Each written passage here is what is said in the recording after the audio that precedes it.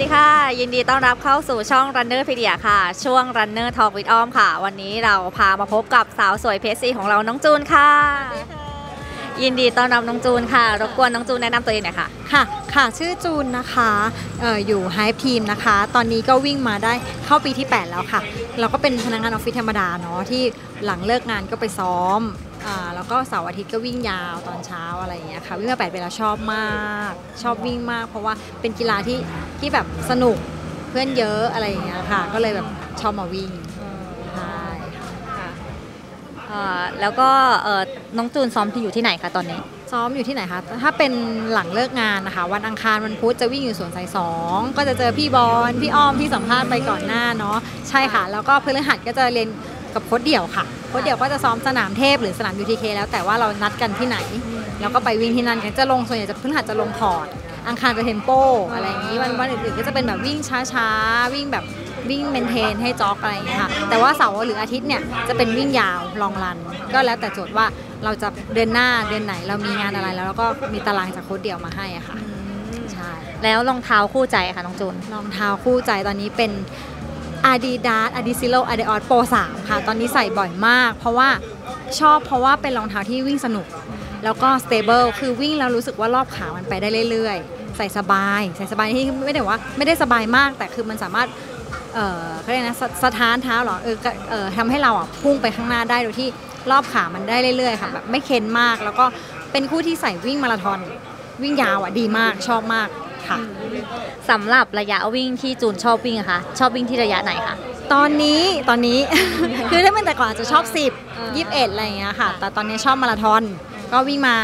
ล่าสุดก็ 12 มาราธอนแล้วค่ะ ก็คือเป็นระยะที่รู้สึกว่าวิ่งแล้วมันไม่เหนื่อย มันไม่เค้น มันมันอาจจะแบบวิ่งเพจ4ไปปลายๆหรือ 5 ต้นๆ ได้แบบไปได้เรื่อยๆอะไรอย่างเงี้ยก็เลยแบบชอบมาราธอน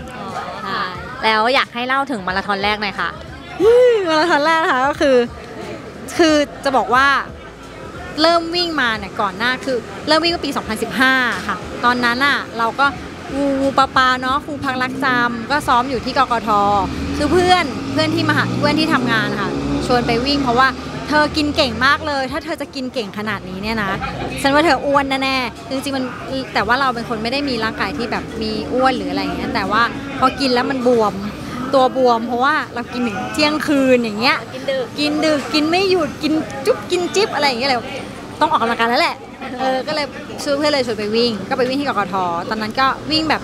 เพจแปดเพจเก้าเดินเหนื่อยเฮ้ยมันเหนื่อยจังอะไรอย่างงี้ แล้วก็มีพี่ที่กกทค่ะชวนชวนแบบเออมาซ้อมด้วยกันไหม แต่ตอนนั้นเขาก็ไม่ได้มีตารางหรอกก็แนะนำแค่ว่าเออวันนี้วิ่งอะไรลงขอบแบบไหนร้อยเมตรสองร้อยเมตรอะไรอย่างเงี้ยค่ะ แล้วก็รู้สึกว่าเออห้าวหาญห้าวหาญตอนนั้น พอวิ่งพอวิ่งงานแรกมินิเริ่มมินิงานแรกวันแม่เล่าแต่แบบวันแม่เลย วิ่งวันแม่เสร็จปุ๊บแบบ 10 โลชั่วโมง 20 เฮ้ย มันก็ทำได้นี่หว่าอะไรอย่างงี้ เราก็เลยบอกว่า โอเค ซ้อมซ้อมไปแล้วก็ลง 21 ลง 21 เสร็จปุ๊บก็ได้ประมาณไม่ถึง 2 ปีค่ะ ห้าวหาญไงแหมวิ่งเวลาดีขึ้นพัฒนาตัวเองได้ดีขึ้นก็เลยอยากจะลองมาราธอนสักงานหนึ่งและทุกคนก็บอกเป็นเสียงกันว่า ถ้าจะไปมาราธอนแรกต้องเลือกจอมบึงมาราธอนจำได้ปี 2018 17นั่นแหละค่ะจะไม่เกิน2เออประมาณ2017 อะไปซะหน่อย เป็นไงบ้าง คือก่อนหน้านั้นน่ะซ้อมเยอะไปนิดนึงค่ะ อ๋อ คือเราเป็นคนที่ไม่มีตาราง ไม่มีโค้ดไม่มีคนแนะนำว่า เธอต้องเวทนะ แค่ไหนไม่ได้เวทไม่เคยเวทเลยตอนนั้นก็คือซ้อมวิ่งวิ่งดันด้นวิ่ง 30 โล 30 โลวิ่งนั่นแหละกลัวซ้อมไม่ถึง ก็คือกลัวซ้อมแค่เก็บแต่ระยะ แต่ไม่ได้เก็บสภาพร่างกายกล้ามเนื้อตัวเองให้ดี เออ ก็เจ็บล่าสุดก่อนก่อนที่จะไปวิ่งจอมบึงก็คือไปเจ็บที่เอ่อเชียงใหม่มาราธอนซึ่งสนามเชียงใหม่มาราธอนนะทำเวลาได้ดีมากเลยนะได้นิวพีวีฮาร์ฟ แล้วก็แบบเฮ้ยจอมบึงต้องได้แน่แต่พังค่ะ เพราะว่า ITB ซ้อมเยอะแข่งเยอะตอนนั้นก็คือแบบห้าวหาญลงมันเยอะว่ายังไม่จนเคยเจ็บใช่ไหมคะอ๋อใช่ค่ะ มันไม่เคยเจ็บพอมันเจ็บแล้วก็แบบเฮ้ยมันต้องวิ่งได้ดิวะอะไรอย่างเงี้ยแต่จริง ๆแล้วอะมันตอนที่ไปวิ่งเออตอนที่ปล่อยตัวค่ะ ก็วิ่งได้ถึง 21 โลกลับตัวปุ๊บสักพักโล25 เอาแล้วมาแล้ว หยุดเลยคือมันเจ็บ ITB จนแบบเดินเลย แล้วก็ร้องไห้กับแฟนแบบว่าบอกพี่สันเออเธอไปก่อนได้เลยคือ คือมาเป็นมาราธอนแรกด้วยกันกะว่าจะวิ่งเข้าเส้นชัยพร้อมกัน จบสักสี่ชั่วโมงครึ่ง อันนี้แบบตั้งใจมาก สุดท้ายพังเองสงสารแฟนมากนางแบบว่าไม่เป็นไรเธอจบมาตอนแรกด้วยกันเดี๋ยวเดี๋ยวฉันจะพาเธอไปนะอะไรเงี้ยร้องไห้ตลอดทางแบบโอ๊ย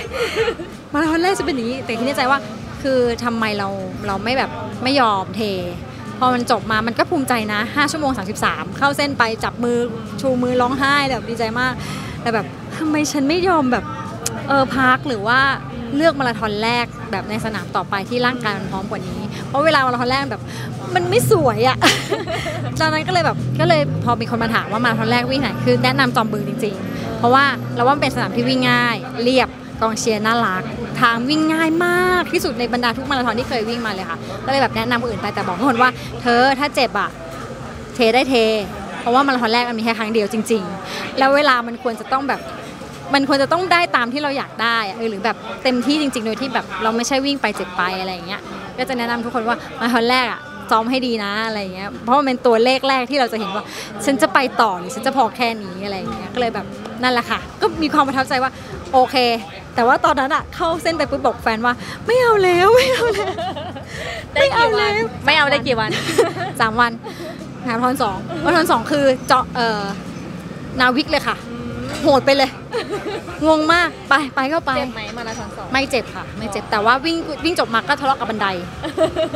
ก็คือรู้สึกว่ามันเนินเยอะเออมานาวิกขึ้นเนินโหดมากก็คือออกตัวไปโลสองคือขึ้นขึ้นเขาเลยค่ะ ใช่ใช่แต่สนุกเป็นสนามที่สนุกแต่ร้อน แต่คือแนะนำนะใครที่ชอบอะไรอย่างเงี้ยเออหนูว่านาวิกก็ก็ก็ดีเหมือนกันแรกๆอุ้ยติดท้องติดถ้วยกันโอ้โหชอบ ตอนนั้นก็เลยใจว่าเออมาราธอนมันก็ดีเนาะไม่ค่อยมีอย่างตอนนั้นยังไม่ค่อยมีคนวิ่งอ่าใช่แล้มัวนก็เลเป็ยนระยะยาวใช่เป็นระยะยาวมันต้องเก็บเอ่อไมเด็ดเยอะใช่ค่ะใช่ก็เลยแบบ นั่นแหละค่ะ แต่จริงๆ อยากเชียร์ให้ทุกคนมานะ อยากให้ทุกคนวิ่งมาราธอนนะมันสนุกมันสนุกมาก แล้วมาราธอนล่าสุดล่ะคะของเราเป็นยังไงบ้างมาราธอนล่าสุดนะคะเพิ่งจบไปคือโอซาก้ามาราธอนปี 2023 เมื่อประมาณ 26 กุมภาค่ะ ก็จริงๆ เป็นสนามที่เคยไปแล้วเมื่อปี 2019 เป็นสนามที่ เป็นเป็นสนามมาราธอนในต่างประเทศสนามแรกที่ไปที่เคยไปวิ่งเลย แล้วก็รู้สึกประทับใจที่เฮ้ยทำไมคนญี่ปุ่นเขาน่ารักคือออกมาเชียร์ตามทาง แต่ด้วยความที่มันเป็นต่างประเทศเนาะคนทุกคนให้ความร่วมมือ ปิดถนนดีมากร้อยเปอร์เซ็นต์เลยปิดแล้วแบบทุกคนก็มาเกาะขอบเชียร์แบบคำไปคำไปไฟโต้หรือน่ารักแล้วเขาก็มาเชียร์แบบทีมเพื่อนๆเขาอะเนาะแล้วก็มีป้ายสู้ๆอะไรภาษาญี่ปุ่นอะไรอย่างเงี้ยแล้วแล้วเขาก็เออน่ารักดีการปิดถนนดี จะบอกว่ามีป้ายทุกกิโลเลยค่ะ ว่าแบบให้รู้เลยว่าวิ่งถึงโลไหนแล้วเป๊ะมาก แต่ว่านาฬิกาเราอาจจะไม่เป๊ะเพราะว่าตึกมันบังมันก็จะเลยเลยๆหน่อย แต่ว่าแต่ว่าถ้าเป็นมาราธอนต่างประเทศค่ะทุกสนามส่วนใหญ่จะ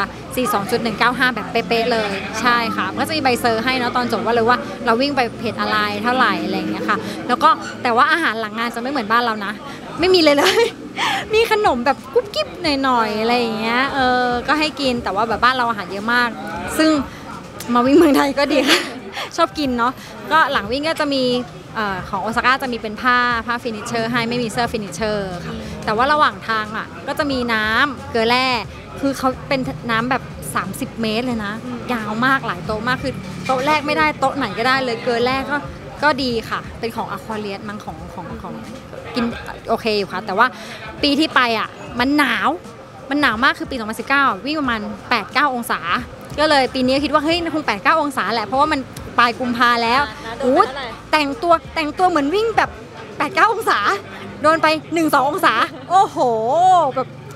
วิ่งตอนแรกปล่อยตัวก็เห็นมีแดดค่ะ ก็เลยเออเดี๋ยวใส่เสื้อกันฝนเสร็จใช่ไหมแล้วพอปล่อยตัวก็ทิ้งเสื้อกันฝน พอปล่อยเท่านั้นอะวิ่งไปสักพักมึงแดดมันหุบหุบเสร็จแล้วมันกลายเป็นลม ลมมันแรงมากแบบแบบวิ่งไปแล้วแบบเราจะไม่ปได้ลิวไม่ไม่ได้ใส่เสื้อกันฝนใช่ใช่เพราะเราคิดว่ามันจะมีแดดเหมือนเหมือนปีปีที่เราเคยไปวิ่ง เราคิดว่าเฮ้ยมันคงแบบอากาศประมาณนั้นแหละ 6 7 8 องศาหรือเป็นก็วิ่งได้ แต่กลายแบบ 3 4 องศามีลมมีฝน มีฝนแบบปรอยเป็นระยะระยะอะไรอย่างเงี้ยค่ะท้ายๆถึงจะมีแดดแต่แดดมันไม่ได้มาด้านหน้านะมันมาด้านหลัง ซึ่งแบบก็แบบหนาวอะหนาวจนแบบขาแข็งมือมือแข็งขนาดใส่ถุงมือไปค่ะ แต่ว่าแบบมันยังกำไม่ได้อะหยิบเจลทีคือแบบ ต้องถอดถุงมือแล้วก็หยิบเงี้ยหยิบเสร็จแล้วก็ต้องใส่ถุงมือเข้าไปใหม่ มือก็เปียกกินน้ำลาดลาดไม่ได้ แต่ว่ามันพอตอนที่เราวิ่งไปกินไปอะ มันก็จะมีแบบหยิบแก้วแล้วมันก็จะหกใส่มือ ก็คือเปียกหนาวไปทั้งตัวขาแข็งโชว์โชว์ต้องเอ่อต้นขา แต่ข้อดีอย่างหนึ่งคือพอมันหนาวมากๆค่ะ มันฮิวเร็วมาก คือคือมันขาแข็งนะวิ่งวิ่งเสร็จอะ ออตอนวิ่งก็ขาแข็งอะมันก็จะวิ่งไม่ค่อยขึ้นยกค่ะเราก็ว่าเราเราเร่งเพจแล้วนะ แต่เพจมันก็ไม่ขึ้น มันก็เท่าเดิมรู้สึกว่าแบบเฮ้ยทำไมมันไม่ขึ้นวะอะไรอย่างเงี้ยแต่ก็ตอนนั้นก็ไม่ได้อะไร เพราะว่ารู้สึกว่าเราวางแผนมาแล้วว่า ถ้าวิ่งได้ประมาณนี้ก็เท่านี้แหละ อย่างน้อยก็ได้นิวพีบีได้นิวพีบีเร็วกว่าเดิม 17 นาทีจบจบที่เวลาเท่าไหร่คะ3ชั่วโมง 32 12 ค่ะ ซึ่งปี 2019 จบที่ 355จำได้เลย จริงๆอะไอปีนั้นอะอยากจะไปทำซับ345 แต่ล้ม ปี2019ล้มค่ะโล39โอ้มาปีนี้นี่พอผ่านโล39นี่หันไปมองแล้วแบบไม่ล้มแล้วฉันไม่ล้มและจ้าอย่างนี้เลย แล้วก็แบบไปจ้ะไปต่ออะไรเงี้ยแล้วก็จะรู้ว่าโล41 จะมีอุโมงค์แล้วก็จะรู้แล้วแต่ว่าปีนั้นอะปี 40 ปีปี10 2019ค่ะ ลงอุโมงค์ปุ๊บอะหนูอะวิ่งหาที่ล้างแผล เพราะว่ามันรู้เราจะรู้ไงว่ามันมีน้ำโลไหนใช่ปะโล39ปุ๊บขอโทษค่ะทำไงดีวะแบบคืออายมากแล้วก็ไม่เลือดไหลเลยอะ ต้องวิ่งไปหาน้ำล้างอะไรเงี้ยโล11ก็มาแบบไม่เดินแล้วเว้ย ปีนี้ไม่เดินแล้วเว้ยอะไรเงี้ยแบบรู้สึกแบบเฮ้ยฉันทำได้ฉันภูมิใจวิ่งไปแล้วแบบให้กำลังใจตัวเองว่า มันมันมันสนุกมากเลยอะแต่ว่าจริง ๆ ความโหดอะอยู่ที่โล 30 ของของของสนามนี้นะคะ คือมันมีเนินเนินใหญ่มากแล้วแล้วก็โลสับแล้วก็มีโรลลิ่งแบบเนินเล็กๆน้อยๆเนี่ยตลอดเส้นทางใช่ถ้าผ่านไปได้ แต่เป็นอะไรที่ทรมานมาก 10 โลท้ายคือแบบนับถอยหลังทุกโล เพราะว่ามันแบบซ้อมมาถึงแค่ 3 2เนี่ยแหละค่ะ มันคือมาราธอนที่มันสนุกดีแล้วก็ทำให้เราได้ได้แก้ปัญหาได้แบบคิดว่าเราจะต้องวิ่งแบบไหนเพจไหนอะไรเงี้ยซึ่งรู้สึกว่าเออปีเนี้ยโอซาก้าที่ไปวิ่งอะรู้สึกว่าวางแผนได้ดี รู้สึกว่ากินกินเจลทุก 8 โลค่ะเออใครแบบอยากจะไปปรับนะคะกินเจลทุก 8 โล แต่จูจะไม่พกเกลือแร่ไม่พกเม็ดเกลือแร่เลยนะ เพราะว่ารู้สึกว่าตอนซ้อมเรากินแค่เจล ในงานอะเขามีเม็ดเกลือแร่ให้ด้วย จะหยิบก็ได้ไม่หยิบก็ได้ แต่จูจะแบบกินแค่เจลเพราะว่าเจลที่กินอะมันมีส่วนผสมที่โอเคแล้วสำหรับเราเพราะว่าเราซ้อมมาเท่านี้ กินมากกว่านี้เดี๋ยวแบบกลัวบวมเมื่อบางคนกินแบบมือกินเยอะไปก็จะแบบมือบวมอะไรอย่างเงี้ยเราก็จะเอาเท่าที่เรากินนี่แหละ วางแผนตามที่เราวิ่งดีกว่าอะไรอย่างงี้ก็เลยแบบภูมิใจดีใจมากๆเข้าเส้นมาก็ดีใจ แล้วสนามนี้เป็นสนามที่ประทับใจด้วยใช่ไหมคะ ใช่ค่ะ สนามนี้เรียกว่า ที่วิ่งมาทั้งหมดอะชอบสนามโอซาก้ามาราธอนมากที่สุดแต่อาจจะเพราะว่าเรายังไม่เคยไปสนามอื่นในต่างประเทศ เดี๋ยวว่าปีหน้าว่าจะไป ลองลอตโต้สักโตเกียว เบอร์ลินอะไรเงี้ยเขาบอกว่าเบอร์ลินเป็นสนามที่เรียบที่สุดในบรรดา major ไปเก็บซะหน่อยปีหน้าค่อยว่ากันอะไรเงี้ยค่ะ แต่อยากไปทุกอันเลยแล้วตอนนี้ PB จูนอยู่ที่เท่าไหร่แล้วบ้างคะ PB นะคะ ถ้าเป็น 10 โลอยู่ที่ 44.32 ค่ะ นาทีค่ะ แล้วก็ half ก็จะเป็นชั่วโมง 41 ประมาณนี้ค่ะ แล้วก็มาราธอนก็คือเมื่อกี้เลยโอซาก้ามาราธอนมาราธอนที่ 12 ก็ 3 ชั่วโมง 32.12 ชั่วโมงค่ะ แล้วเป้าหมายต่อไปของน้องจูนนะคะ วางเป้าหมายไว้ยังไงบ้างจริงๆอะเป้าหมายวิ่งแบบเลอะๆเทอะๆนั่นเราเนี่ย คือเดี๋ยวเดือนมิถุนาจะมีกำแพงแสนหกสิบค่ะ เป็น ultra ที่ 2 คือจูนอะเคยวิ่ง ultra เมื่อปี 2018 เป็น 10 ชั่วโมง ultra สวนพฤกษ์ ตอนนั้นก็คือวิ่งแบบเจ็บๆเหมือนกันค่ะ เป็นคนเป็นคนอดทนต่อการต่อความเจ็บทุกอย่างได้หมด ก็คือซาดิสม์นั่นเองไม่ใช่ ก็คือตอนนั้นเหมือนแบบเราวิ่งมาได้แบบ 3 ปีเนาะเราก็แบบเนี่ยข้ามอีกแล้วข้ามอีกแล้วนะเราก็เลยแบบเห็นพี่ๆเขาที่วิ่ง city run กันแต่ก่อนก็วิ่ง city run เนี่ยชวนไปลงไหม้โซโล่กาแฟเลยจ้าเอาอีกแล้วพี่ตันบอกเอาแล้วเอาแล้วอะไปก็ไปก็เลยไปวิ่งก็ 10 ชั่วโมงก็9ชั่วโมงวิ่งไป9ชั่วโมง45 63.5 โล ก็คือผ่านเกณฑ์ของเขาอะไรอย่างเงี้ยค่ะ แล้วเราก็ได้มาแล้วก็แบบแล้วตอนนั้นก็บอกพี่ซันไม่ไปแล้วนะ เอาแค่ฟูพอไม่ไหวแล้วอะไรอย่างเงี้ยแต่ว่าพอมาปีนี้มันแบบเข้าปีที่ 8 แล้วแล้วถือว่าเฮ้ยเราก็เก็บผสมประสบการณ์มาเยอะมาราธอนก็12 อันแล้วอะไรอย่างเงี้ยแล้วแบบ อะไปซะหน่อย แล้วก็เหมือนแบบกำแพงแสนนะคะรูทมันน่าวิ่งรูทมันแบบวิ่งในมอ เรารู้สึกว่าเฮ้ยน่าจะทำเวลาได้น่าจะแบบไปท้าทายตัวเอง 60 โลซะหน่อยอะไรอย่างเงี้ยค่ะก็เลยจะไปวิ่งนิทุนายนนี้แหละค่ะพี่ปอนแล้วก็ไปด้วยนะอ๋อเออใช่น่าจะอืมหกสิบโลเหมือนกันแล้ววางเป้าหมายเอ่ออะไรนะเอ่อเขาเรียกว่าอะไรอะคิดว่าอยากจบเวลาที่เท่าไหร่คะเท่าที่คุยอะประมาณ ไม่อยากพูดเลยเดี๋ยวพูดมันเดี๋ยวทำไม่ได้ ไม่ห้าชั่วโมงครึ่งก็หกชั่วโมงไม่เกินค่ะ ก็คือ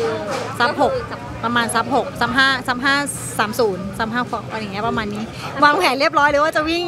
รอบหนึ่งเท่าไหร่อะไรอย่างนี้เลย แต่ถ้าไม่เจ็บคิดว่าเก็บได้ ใช่ใช่คือตอนนี้ก็เริ่มแบบก็คือพอหลังจากจบโอซาก้ามาค่ะ ก็เริ่มเรารู้แล้วว่าเราเจ็บตรงไหนเราต้องรีบยังไงแต่หลักๆ คือต้องยืดเยอะๆคือยืดเยอะมากจนแบบว่ายืดเยอะกว่าวิ่งแล้วตอนนี้ ช่วงนี้เป็นช่วงยืดอย่างเดียวเลยค่ะ เก็บ เก็บแบบเออให้มันร่างกายมันแข็งแรงแล้วก็ weight บ้าง bodyweight นิดหน่อย แต่ก่อนไม่ไม่ทำเลย ไม่ชอบ เดี๋ยวนี้ก็ต้องเริ่มทำแล้ว ไม่ทำเดี๋ยวมันจะแบบว่าเหมือนเดิมเจ็บอีกอะไรอย่างนี้ใช่ค่ะ ค่ะค่ะแล้วก็พี่อยากให้น้องจูนส่งต่อแรงบันดาลใจให้กับเพื่อนๆที่เป็นแบบเออเพื่อนที่วิ่งอยู่แล้วก็ยังไม่ได้เริ่มวิ่งค่ะ สำหรับคนที่ยังไม่ได้วิ่งนะคะ ไม่ยากค่ะ หยิบรองเท้าผ้าใบหรือรองเท้าอะไรก็ได้เลยอะที่แบบวิ่งได้ค่ะออกมาวิ่ง ลองดูสักแบบ 200 เมตร 300 เมตรอย่างได้ว่า เอ๊ะเราชอบไหมหรือว่าแบบถ้าชอบก็ค่อย ๆ เพิ่ม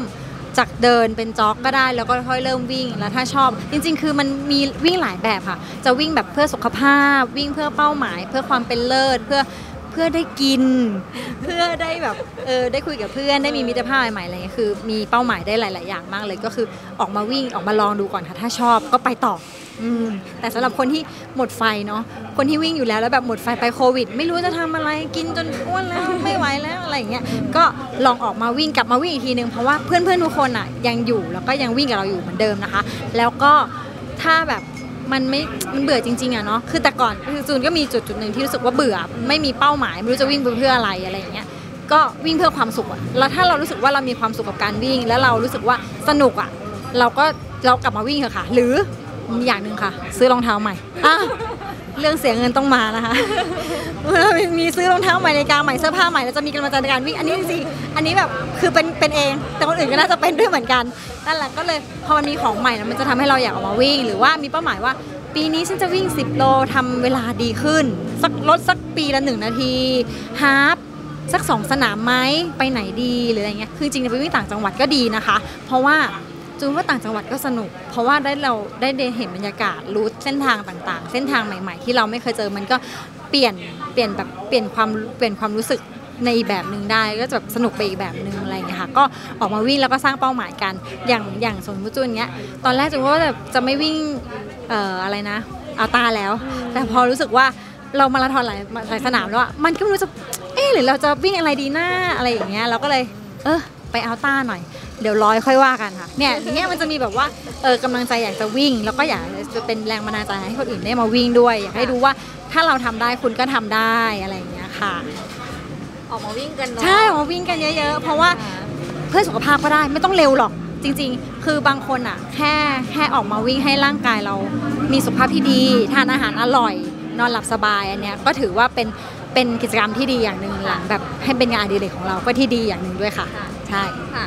สำหรับวันนี้นะคะเราต้องขอบคุณน้องจูนมากๆเลยนะคะ ที่มาพูดคุยกับเราเนาะค่ะ แล้วก็เดี๋ยวถ้ายังไงเดี๋ยวเราลากับเพื่อนๆไปก่อนเนาะได้เจอกันใหม่ EP หน้านะคะ กับ Runner Pedia ค่ะบ๊ายบายค่ะ